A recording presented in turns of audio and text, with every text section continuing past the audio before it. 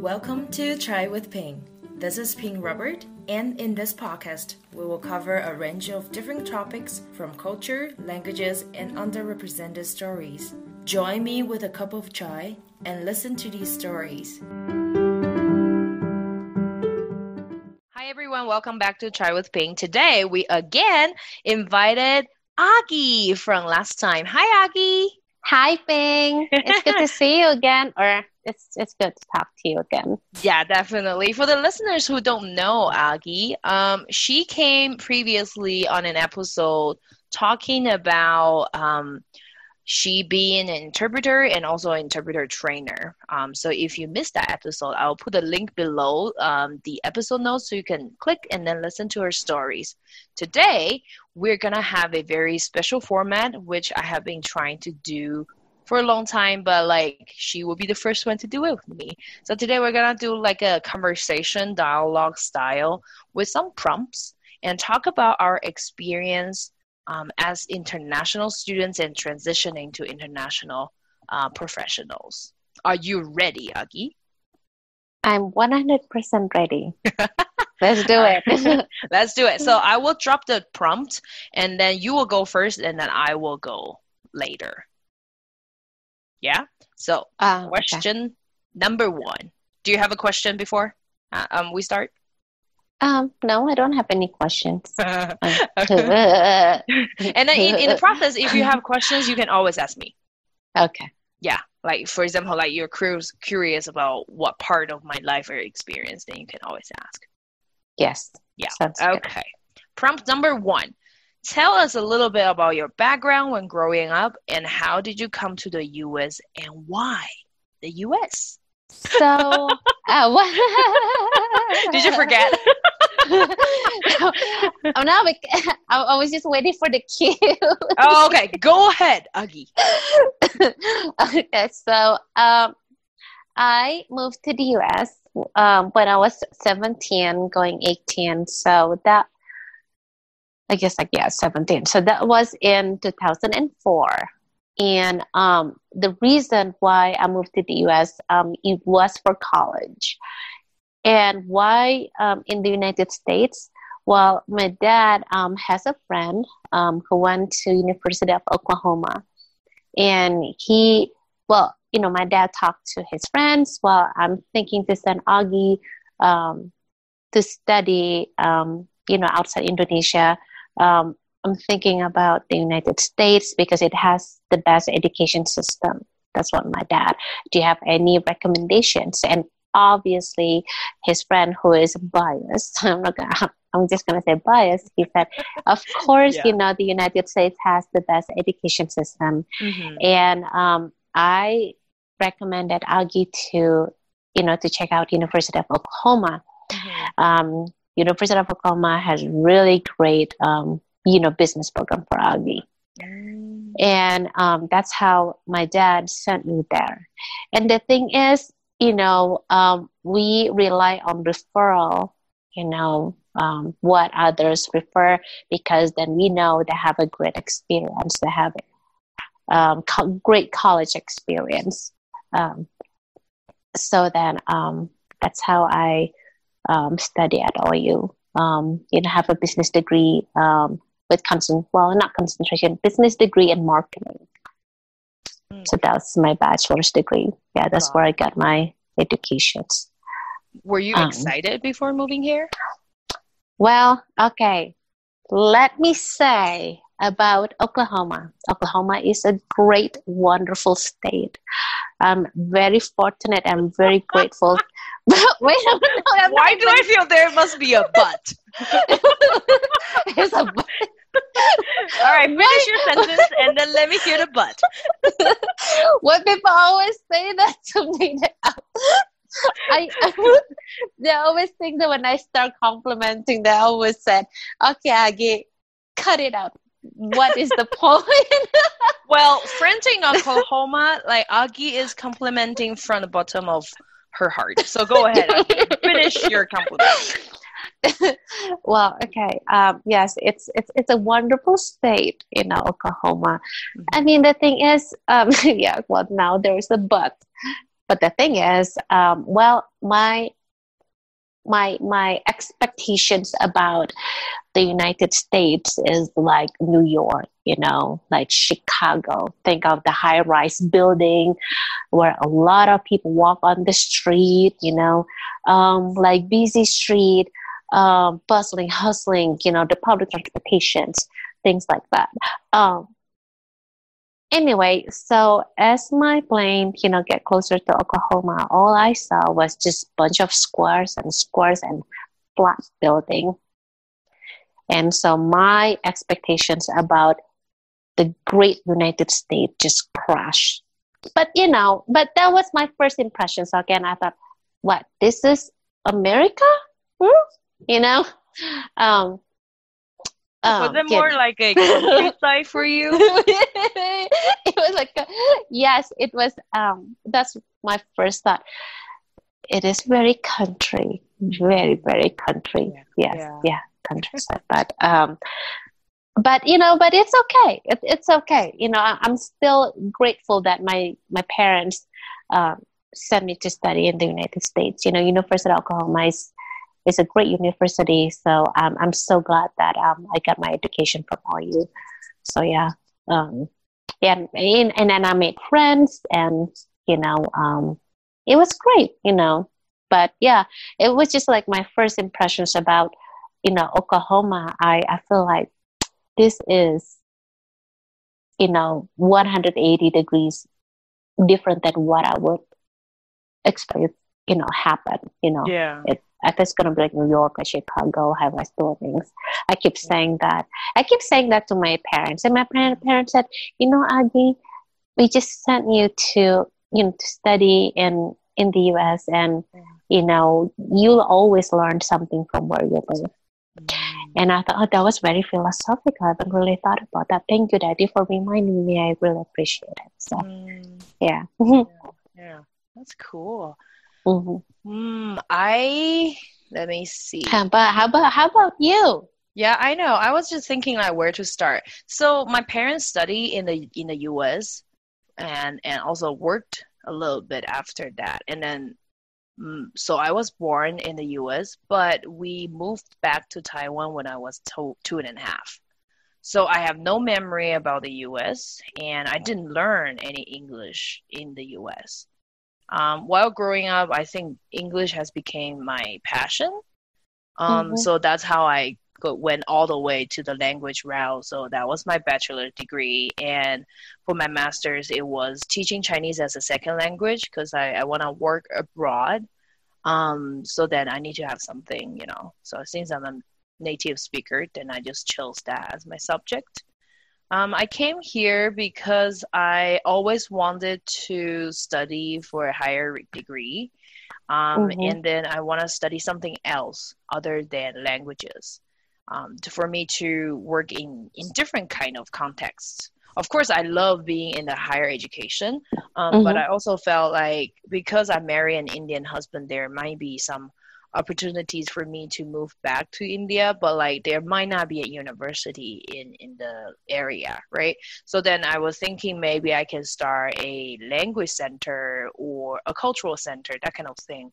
Um, so then I would need a PhD because in I I do I feel in Asia as a female, um, and especially I look very young so I need a degree to support my expertise because mm. in Asia, like I feel the the experience that I have, people usually just judge me by how I look, and because you you know you, you hear from our conversations i'm very lively and then I, I don't really talk so seriously about th- something so then yeah. it's like I, if i want to achieve to a certain level and maintain that life quality i need to get more education so that's how we came to the US. And also, it's easier for both uh, me and Lewis to work here because I have the citizenship and then he can.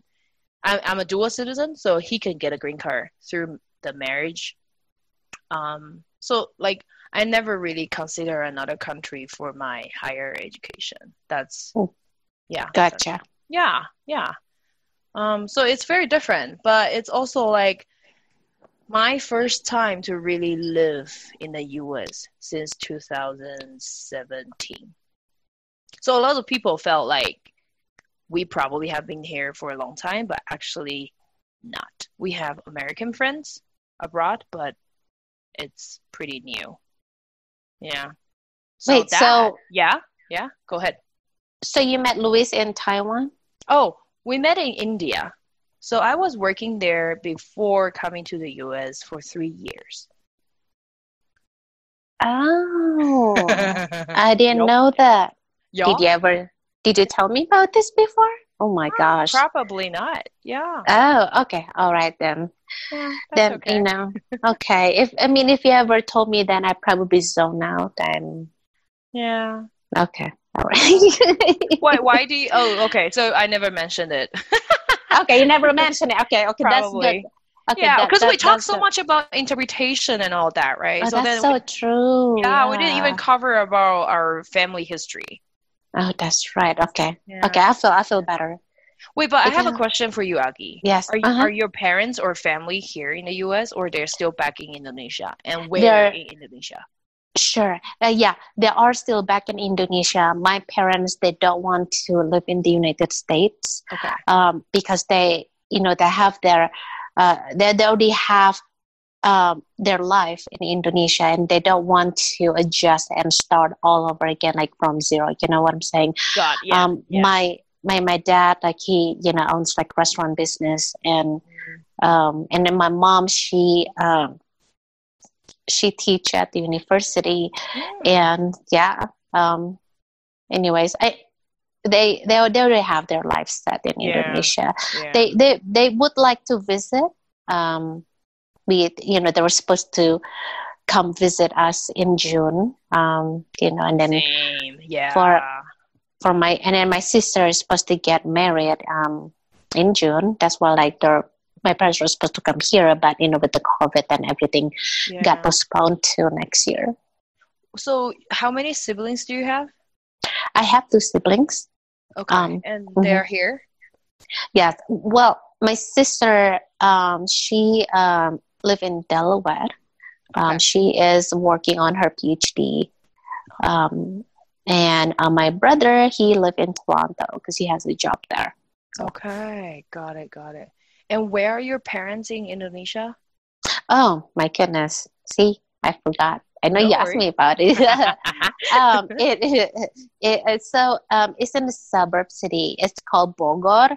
okay. uh, Bogor is about, you know, with the traffic jam and, you know, it's just, anyway, Indonesia is always like traffic jam everywhere. So it's about like two hours uh, from the capital city, um, Jakarta. Yeah. So, Got it. Okay. Well, only two hours from Jakarta. That's pretty close. yeah, Yeah. it is. And it's, you know, it's in higher elevation. Yeah. um, because Jakarta is prone to flooding. I mean, Bogor still get flood, but you know, um, it's not as much as the flood in Jakarta. So, all right. Question number two. What is the most incredible thing that you experienced after you came to the US? You know what is really great about the United States is that that's how I get exposed to other cultures. Isn't that crazy? Like when I live in Indonesia, all I know, you know, for my whole life, um, is my own culture. You know, yes, like we have, um, you know, Indonesia is huge and um, the cultures are different from every province, even like from um, other cities. You know, they have their own unique things.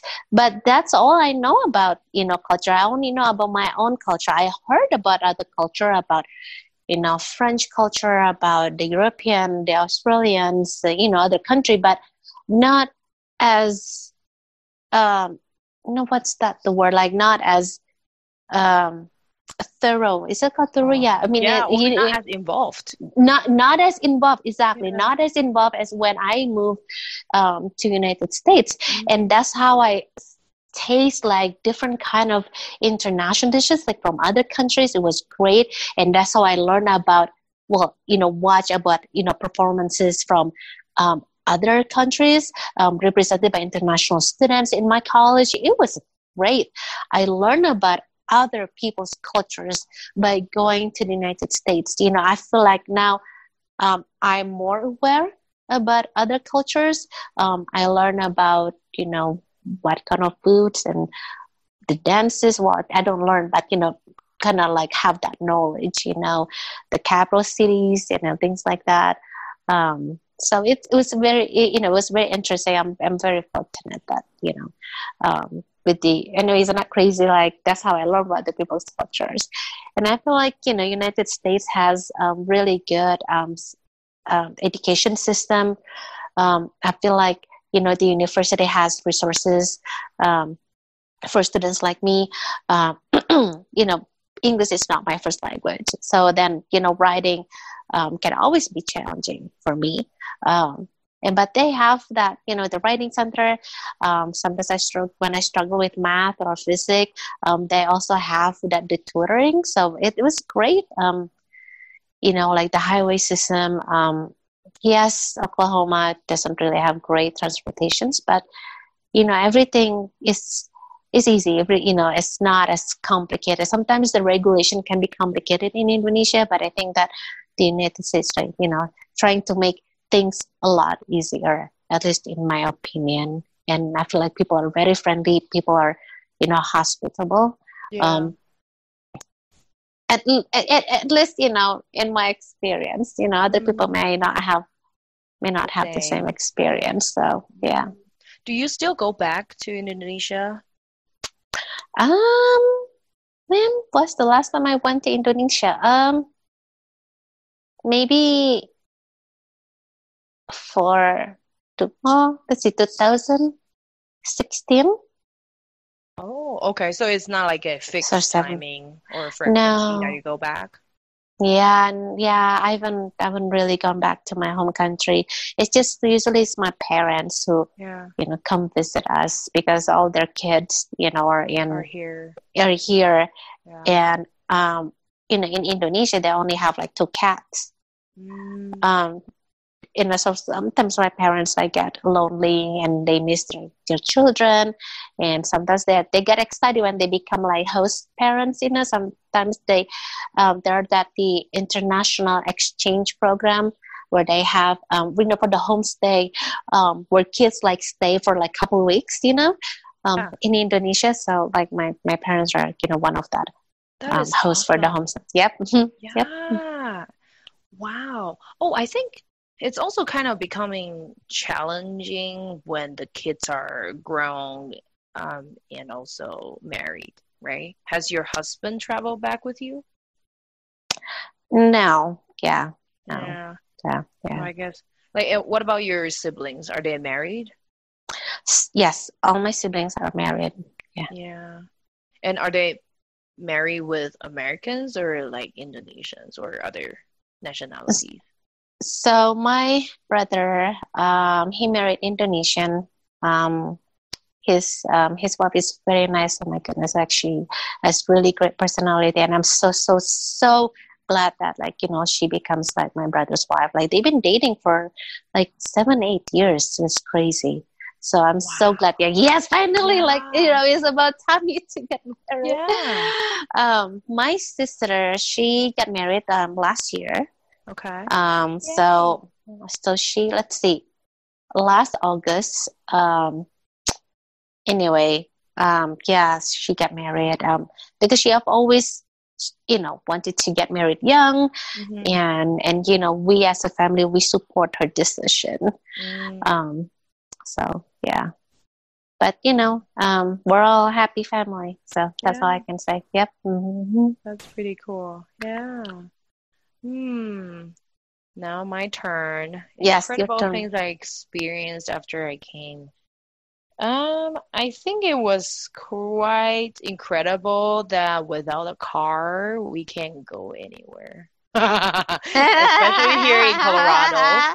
It is so hard. I remember when I was in Taiwan. I don't know about you. I don't, but I, I I've been to Jakarta once, so there are a lot of scooters around in Taiwan is the same. So I always ride my scooter around in my city or even like in the cities that I went to college to. It, it mm-hmm. It's just mm-hmm. a lot easier to move around uh, with a cheaper cost. And driving was not really an option for me because it's so, hard to get a parking, and also I don't have a car. So either it's driving my parents' car or it's just scooter is so much easier. But here, no. I remember the first, uh, let me see, probably five months, we didn't mm-hmm. have a mm-hmm. car. And then, so, you know, doing grocery was so, was so difficult. Yeah. Like the closest uh, supermarket, King Supers, was like 25 minutes walk. And then we live in the university area, you know, so so like people just took bus um, or you know they carpool, but it's it was just not easy because like I I don't know it. I think car has become an essential thing, but but I also felt like it, it was so it still is very expensive to maintain it. Yeah, yeah. it's yeah, it's yeah, it's it's it's very uh, it's very challenging. Um, not having a you know personal transportation yeah um yeah you know relying relying on bus um yeah I, I remember that when i just moved to oklahoma mm. um you know i i get so confused like navigate um the bus system but then like you know you know when i talk to people like people explain to me like well this is how like the bus system works and okay um, now I, I, you know, then then I got it because then I happened to be waiting at a different bus stop, and I was like, wait a minute, why is not taking to my apartment? and then so, you found out it was wrong. yeah, it was like supposed to like wait on the opposite bus stop. Oh, yeah. Mm-hmm. Yeah, I remember. And then later I became more familiar with taking a bus.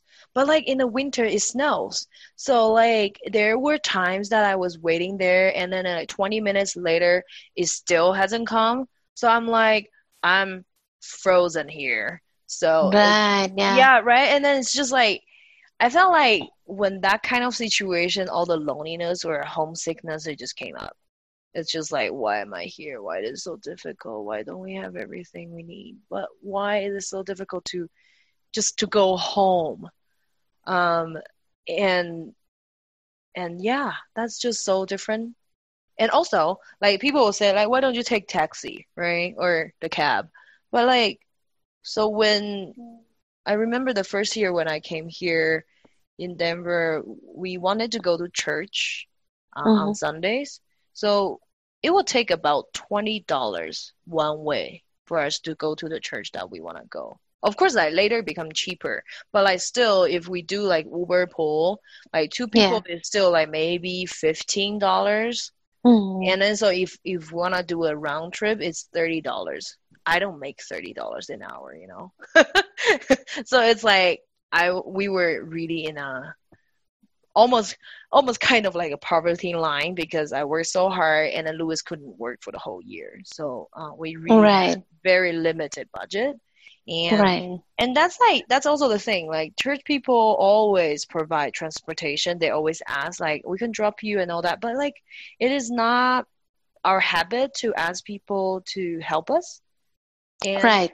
And I find it challenging because like maybe we will have to wait until people's free and then they will drop us home. Or mm-hmm. like it's just not as convenient um and you know the face thing. I don't know if you have the face culture but it's just like we i don't really want to bother people as much as i can.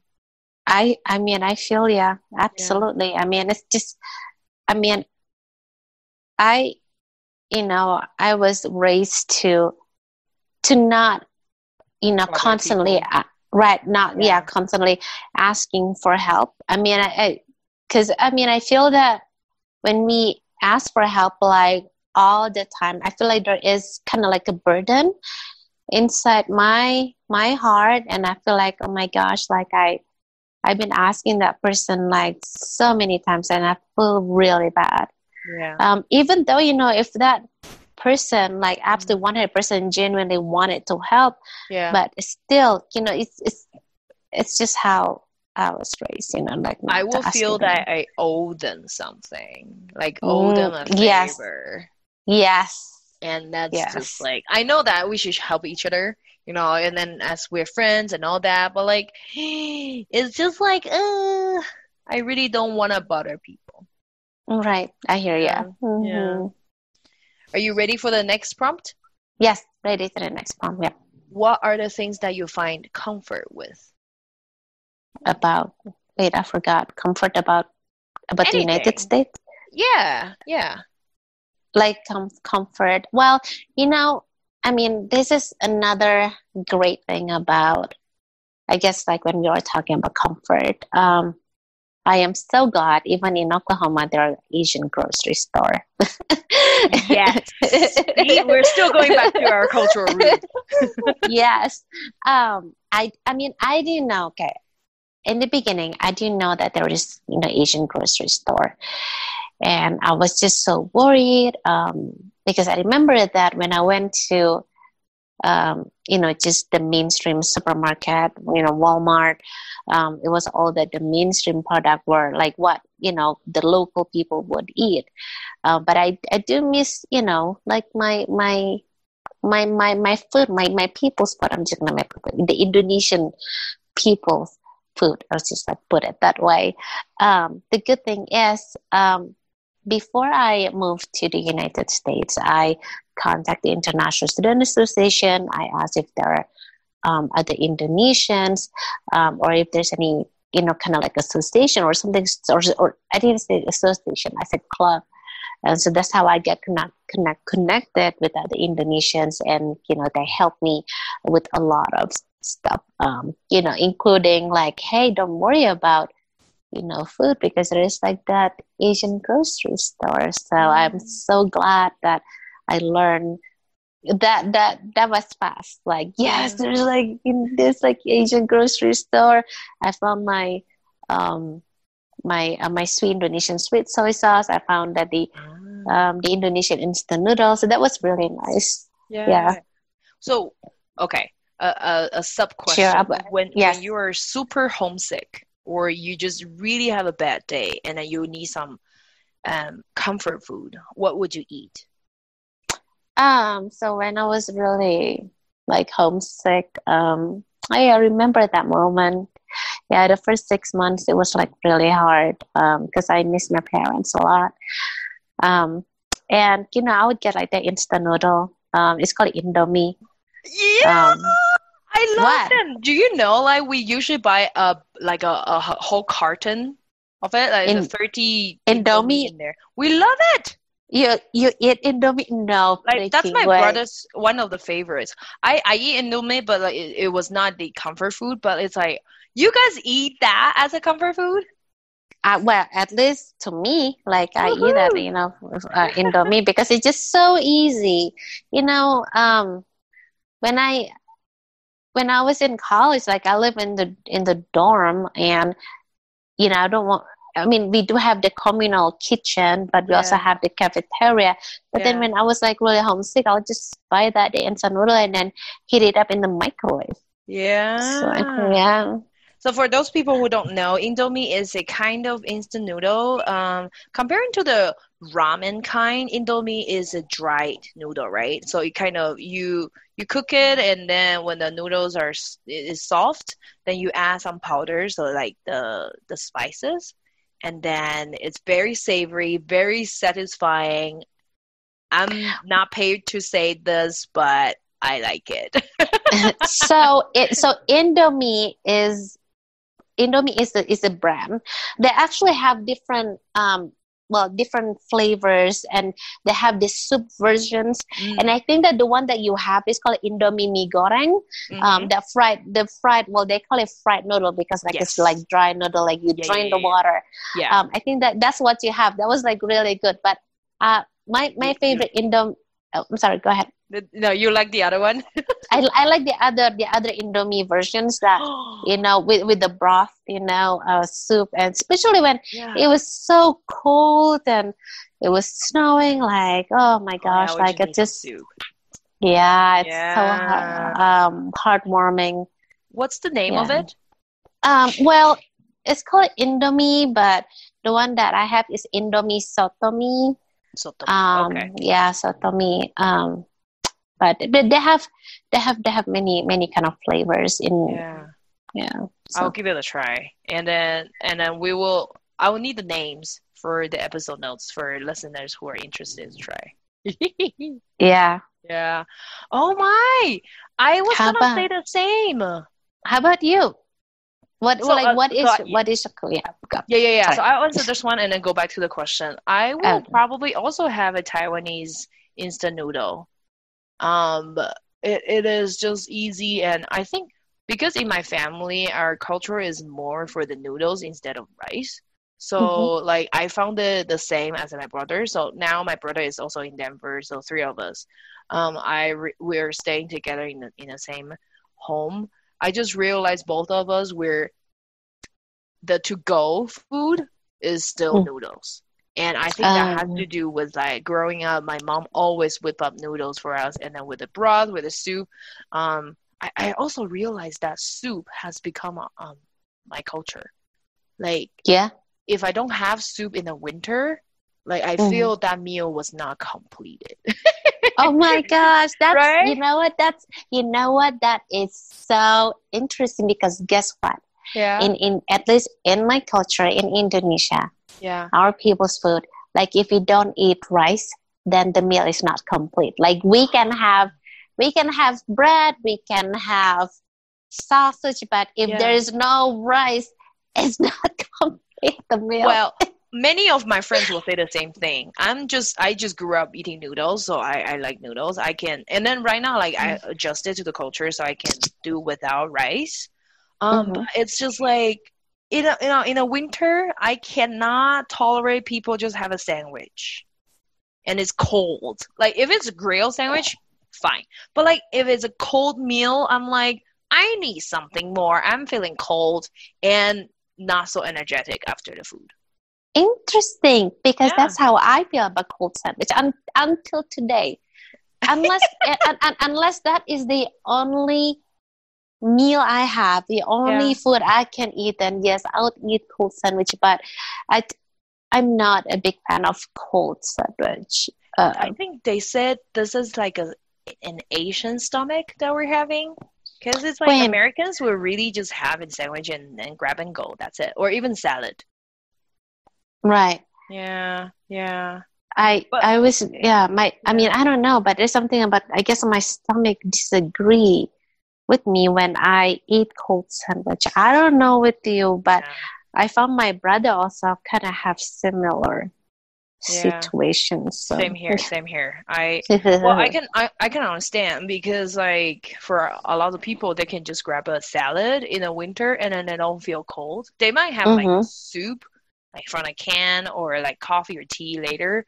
I, I actually asked my American classmates about that question. I'm like, don't you feel cold after eating that? They're like, it's okay. Like we'll have tea later or but for me it's just like meh. Tea and coffee is not like a meal thing. Yeah. For me. I, I need something savory and warm. exactly right Yeah, something yeah. savory. Yeah. And then I also okay, going back to the question where what do I find comfort with? I, I really like the nature here. I mean in Colorado, uh I think it's a lot quieter and less crowded than the coast areas. Um, Wait, really? Yeah. In- Yeah. Including including I seventy. Well, I, I think it's a lot of nature, right? It's still not that many people, and of course, like people are crowded on the highways, but like. Okay. I don't go to the highway all the time, so I enjoy the quietness, the cleanness. I don't know about Aurora though, but the the place that I live in, where I have been hanging out, and it's pretty quiet. What do you think? Um, about what? About the mountains or about the Yeah. highways? Yeah, what happened to I seventy? what happened to I seventy? Tell tell the, Um, tell the listeners about that. Okay, first of all, there's always something going on on I 70. And here's the thing about the beautiful state of Colorado. I love Colorado. Like, I Mhm. mean, I feel like Colorado is like my second home. Sorry, I have to say second home because for some will always be Indonesia. Yes. And um, the thing is, you know, when we go to the mountain, when I go to the mountain, um, I always have to take, at least for me, I have to take like I 70. Either going there or like coming back on weekends, that I 70 is always packed with cars. Do you, did you have that problem?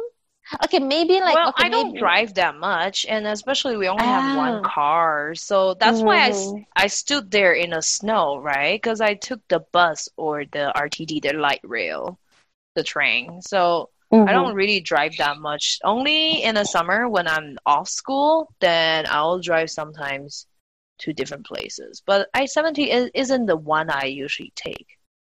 Okay, gotcha. I twenty five, I can relate to I twenty five. A lot of traffic and accidents. I 25 Mhm. Oh my goodness. Don't get I, us started.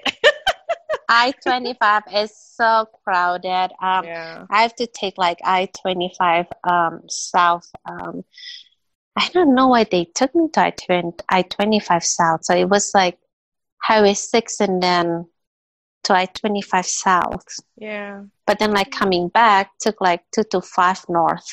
Mm. I don't know. Don't ask me. I only follow GPS. yeah, it's okay. Well, the people in Colorado might understand what we're saying, but what we're saying to the listeners is both me and Agi don't like traffic. Yes, I don't like- lame, lame, lame. I don't like traffic. I don't like when it's just so crowded. Um, Yeah. You know, the thing is, um, I was scared driving on the highway. Okay. I I used to. I used to be scared.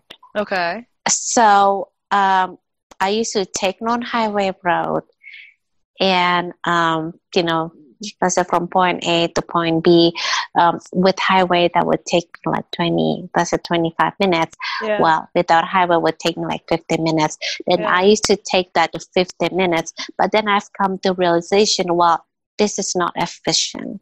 You know, Not- like yeah. time wise, I could have done something else that is more productive. Yeah. And I thought to myself, well, you know, in the US, like we have to learn how to drive on highway. Mhm. Um, I was so scared. Um, but, um, you know, I think that the more we, the more I drive or spend my time driving on the highway, then the more I feel more confident. Yes, you know, we, never know what's gonna happen. I, I there's one time that I saw like there's you know a car accident, and I thought, oh my god, it's like so scary. But then like you know what? If it's meant to be, and it's meant to be, I think Yeah. that we we just have to be um, careful. And you know, I, I I feel like okay, you know what? I can do this. I can drive on highway.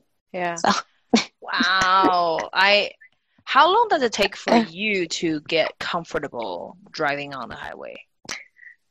Okay, I know like this is so crazy, but um, That's okay. Everyone has their own stories. um, I start driving on highway like more um, about like a year. So before that, Wait, what? I know, I know, I know, I know, I know, I know. Isn't that crazy? That's why I told you like it's crazy. that, That's even after we have met. Cuz we have known each other for like what? Yeah. Like like almost 2 years now, right? yeah. We met mhm, in 2018. Yep. So it's pretty recent. What? I know. Wow. Okay. Well, I'm proud of you because you conquered you. your fear. I know I conquer my fears, and you know it's just I don't know why. Yeah, I mean, in I guess like in in Texas, I Yeah. you know rely on. Anyways, um, I, I you know I have like someone like to drive me. Um, and e- even if you know when I drove in Texas, always like the surrounding city, Mhm. so I didn't really really like drive, you know, on a highway yeah. and same yeah. thing in Oklahoma. Like always, I would probably I would go with my friends Yeah. who say, "Let's go to Oklahoma City. Like let's do carpool."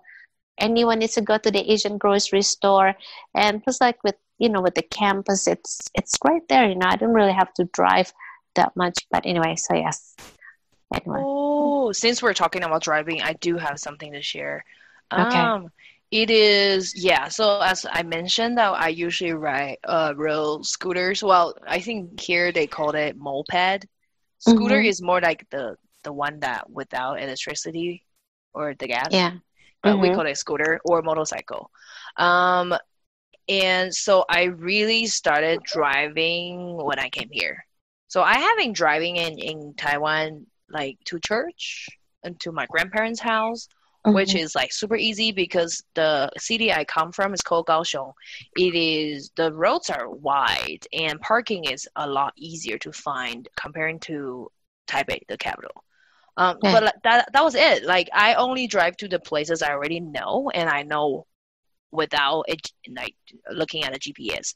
But here, everywhere I have to put on my phone and put on GPS because one, all the street names are so different and so new in a different language, and also, I come from like Kaohsiung is a city which we called it like a chessboard street format. So everything is kind of parallel. So you uh-huh. know if you know like north or south or west or east, then you just know how to get, get it. It's like every Right. most of the major streets are straight. So then you know like next intersection you turn, you will find the other street. But here, I- don't know if it's a geography or something like that, but like a lot of those streets are not straight. Even like Yeah. Colorado or University or even Broadway, like Mhm.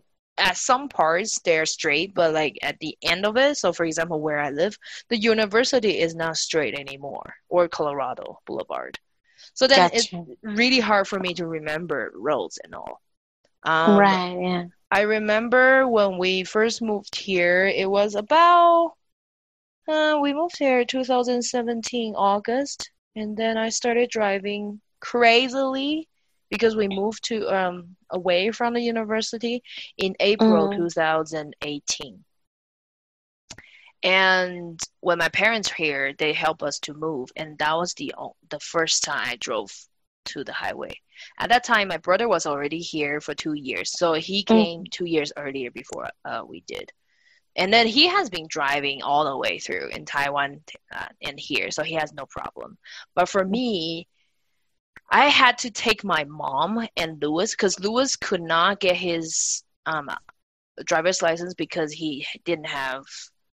Huh, what was that? Like he didn't get any ID because he was waiting for the green card, and Oh, he, gotcha. he couldn't have his social security, so he couldn't have his driver's license.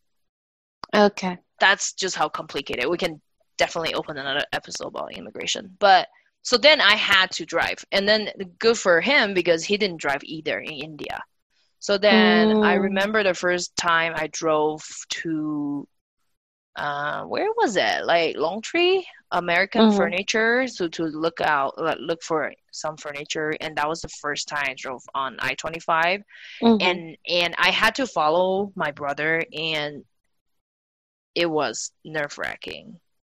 Like when when I parked and everyone gets out of the car, I had to Mm. literally take ten minutes to calm down because it was super super scary to be on the highway. The how fast can we go here?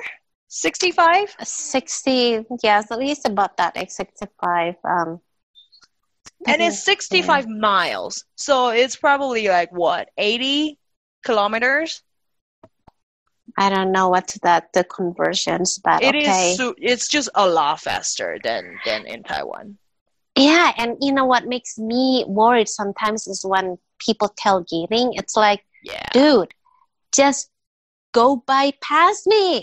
i know Why do it's you like one have to be? Why do you have to be so close to me? I am on the middle lane. I There know. is a left lane. Please do lane bypass.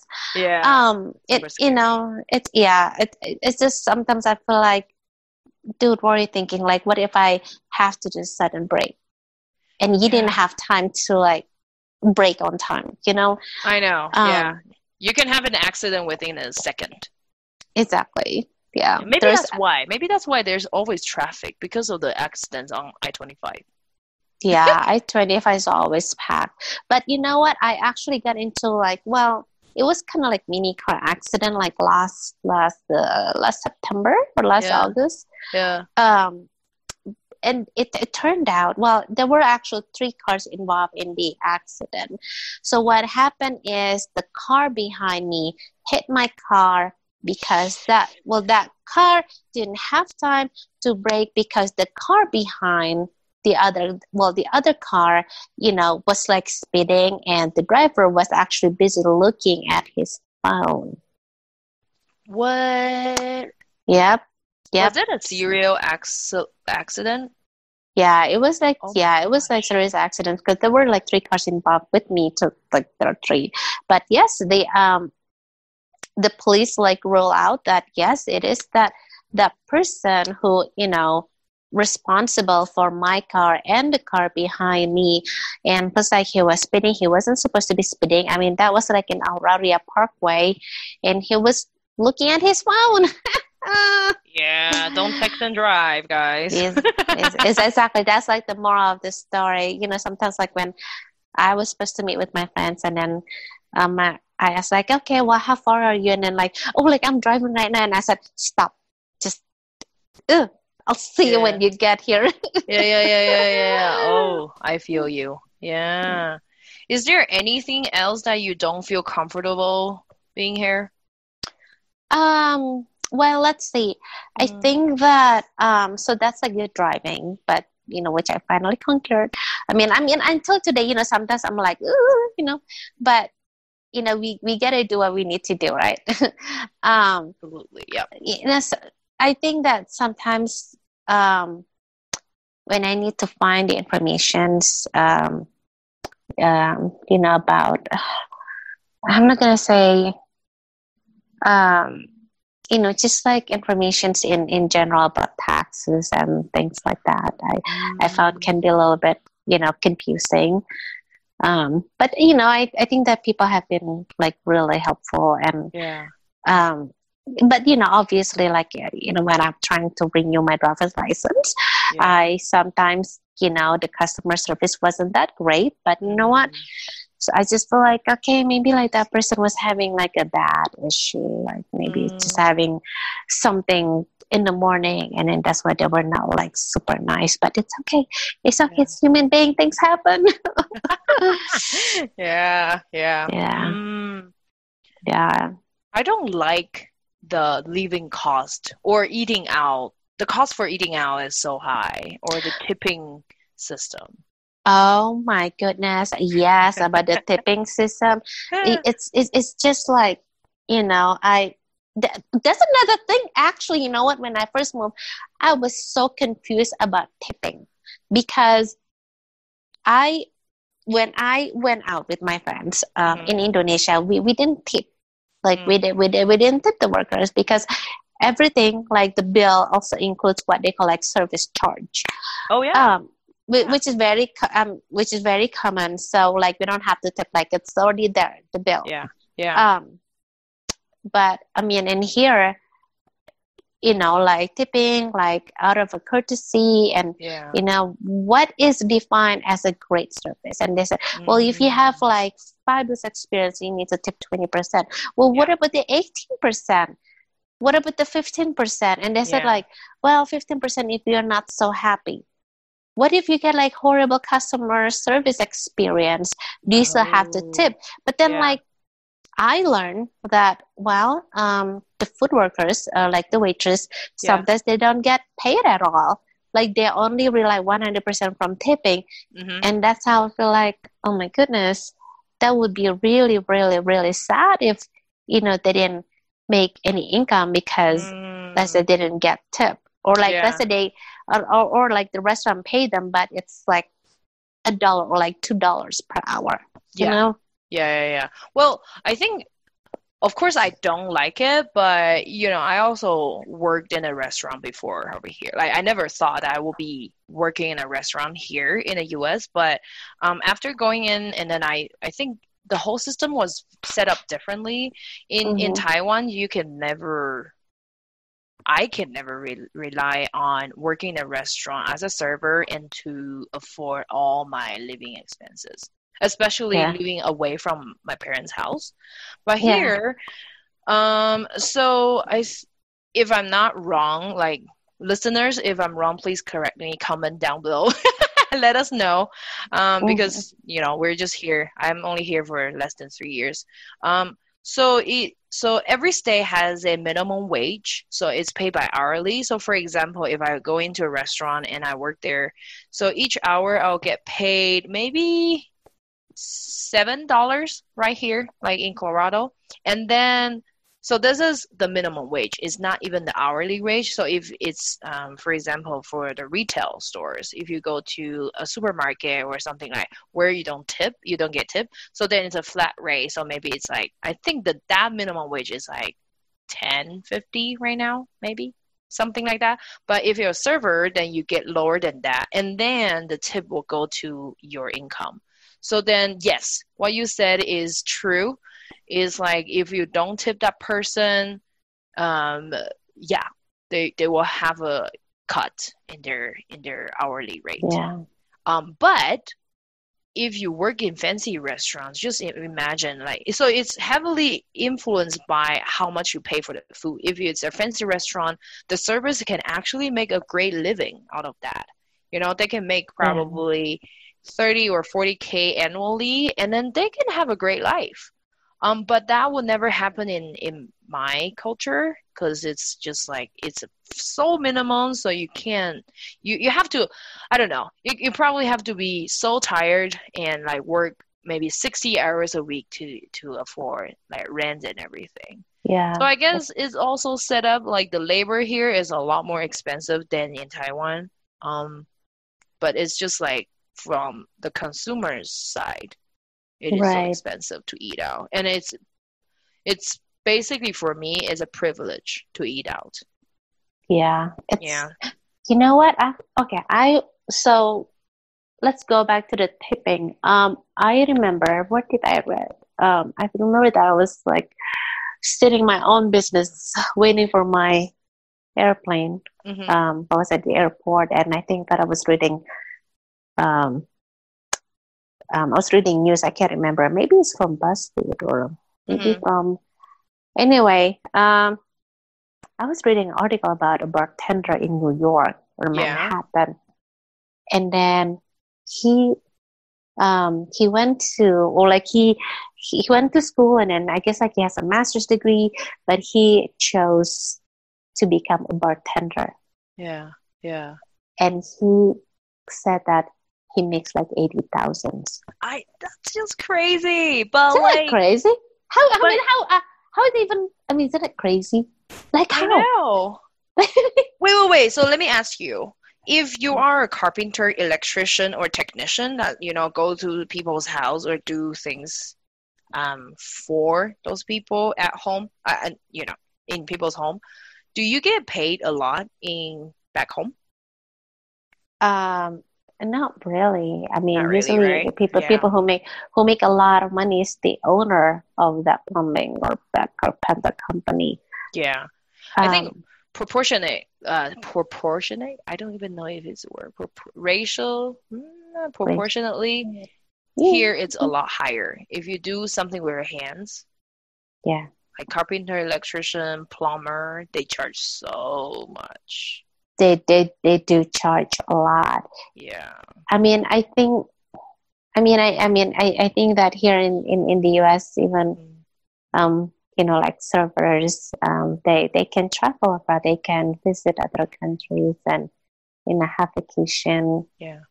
Um, but you know, unfortunately, in Indonesia, working as a server, they they they cannot afford to you know to visit other country Yeah. or even to other city because the cost will be expensive.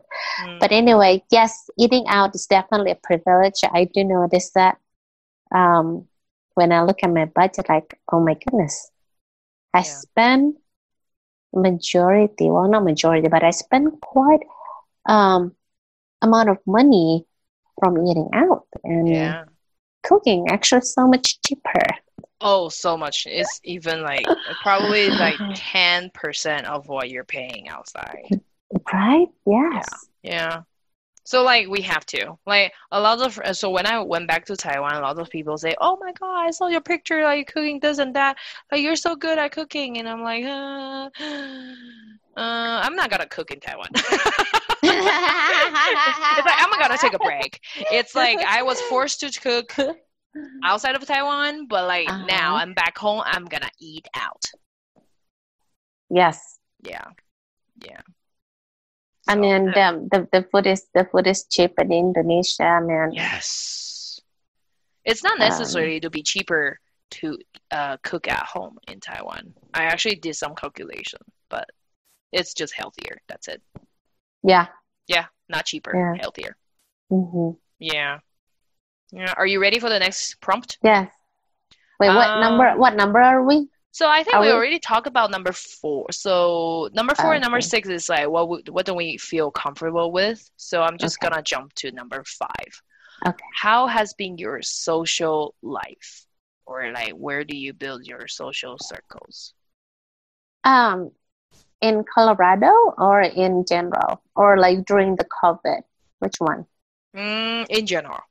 Oh, in general. I mean, well, so I made friends um, from college, obviously, but I think that as you know, we graduated and everyone, you know, get married and have kids, you know, we're just kind of like parting ways, you know, like everyone have their own routine.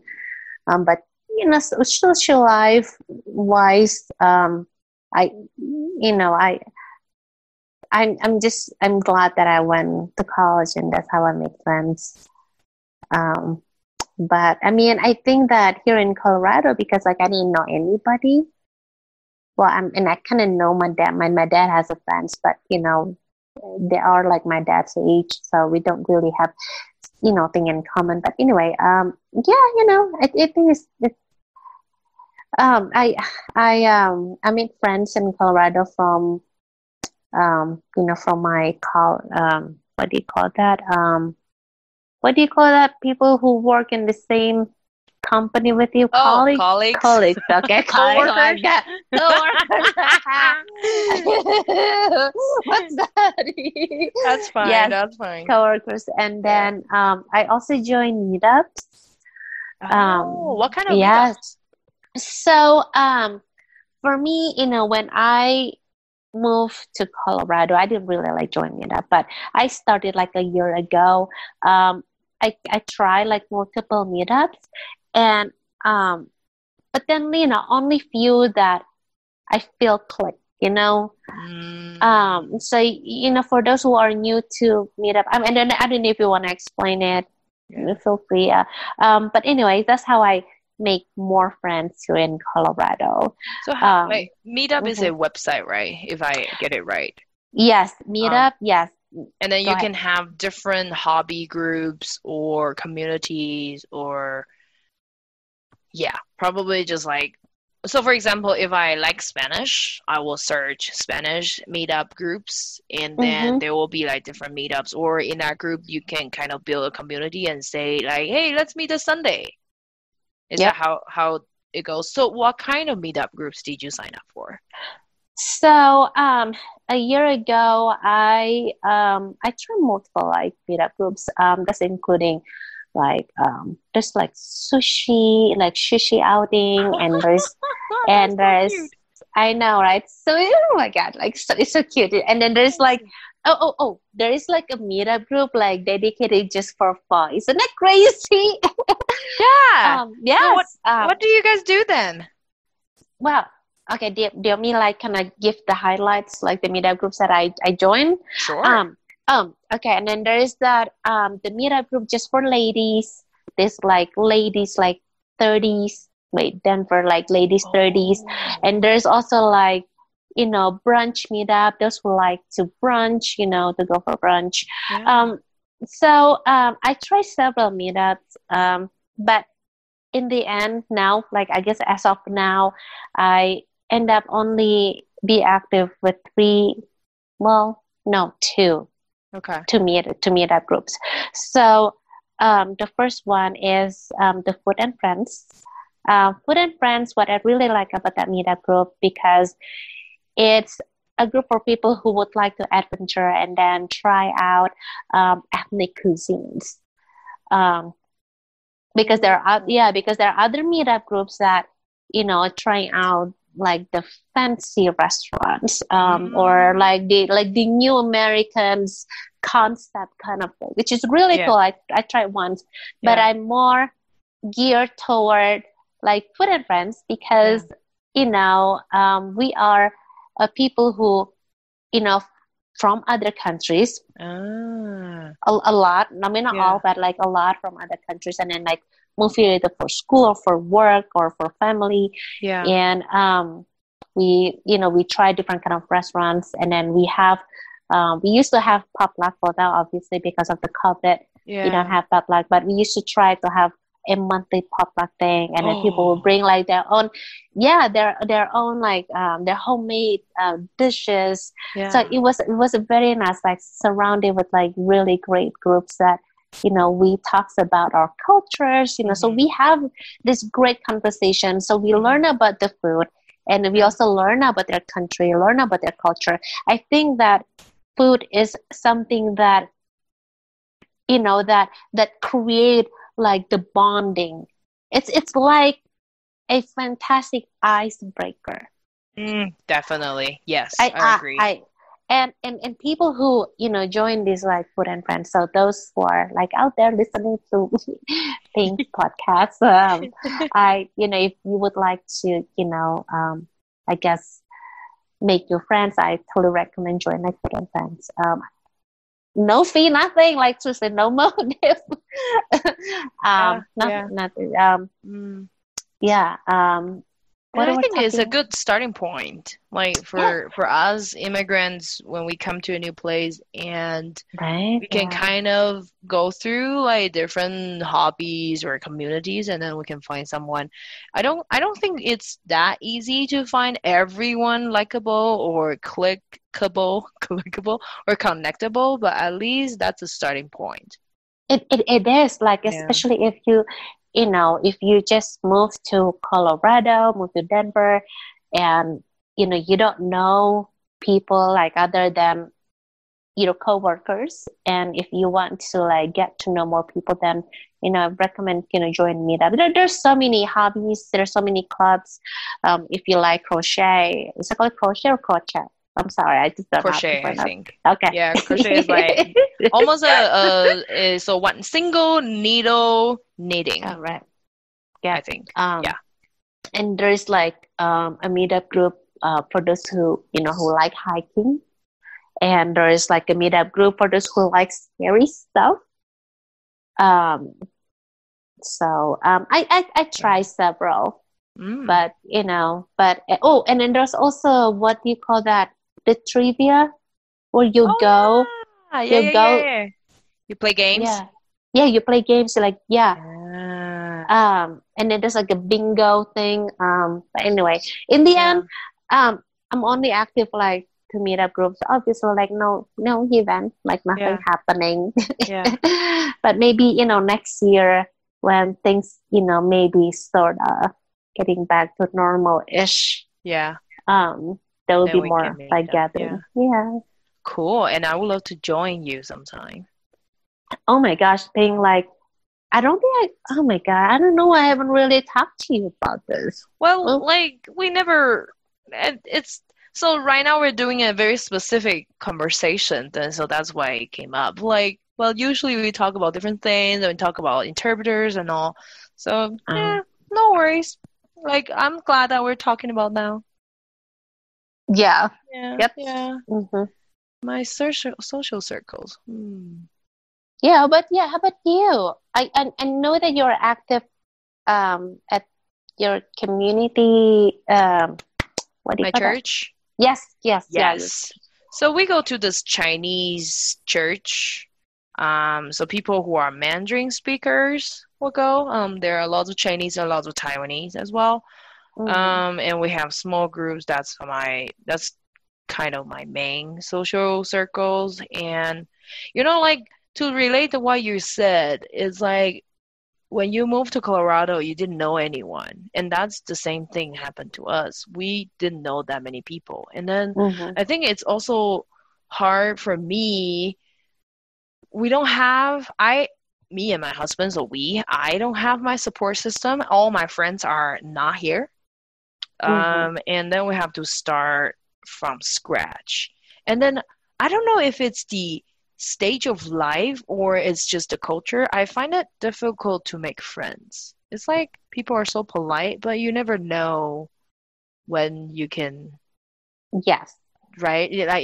So of course, I, like Lewis and I were so so open. So you have been to our place, and then we we just love to invite people because we know that's one space that we can connect with other people more. But still, mm. like that's it. we I don't have many social circles. Maybe from the university who I work with and all. I feel local classmates or local schoolmates are usually so busy. So then I find it easier to mingle with international students or immigrants. Yes. Um I you know I hear ya. It's it's yeah. really it's it's really hard. I think that I mean I am can I reveal my age? Yeah, sure, if you want. I don't mind. Okay, so okay, well, okay, I'm, okay. I'm just gonna say um, what I noticed as I get older. You know, in my 30s, I found it's really hard finding friends. I think mm-hmm. that because you know, as we get older, we know what we want, we know what we like, we know what we prefer. Um, and so I, I think that it's it's it's it's chal- it can be challenging finding um, you know someone who or people who have you know kind of similar values and you know have similar goals um, or you know it doesn't even have to have similar values or similar goals but you know kind of have like similar interests um, or or you can just connect. Maybe you're so oh, different a, but if you can connect. That's so true. Yeah like yeah. the vibing. Vibe that's the word. There you go girl. The vibe. The vibe. Yeah the vibe. Right. No it's it's true don't you think? Because yeah. like finding like close friends.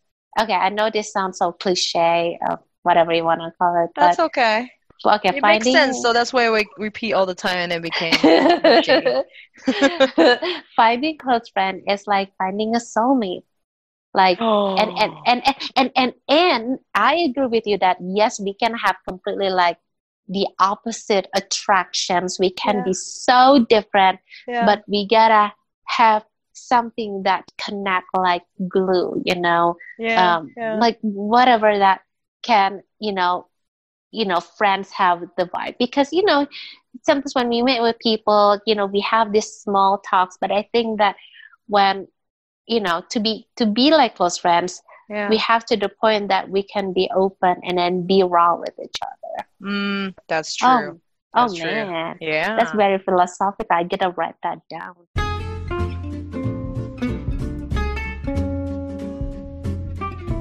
Thanks for listening to chai with ping let us hear your voices and stories please share this episode like and follow us on instagram at chai with ping you can also email us at chaiwithping at gmail.com.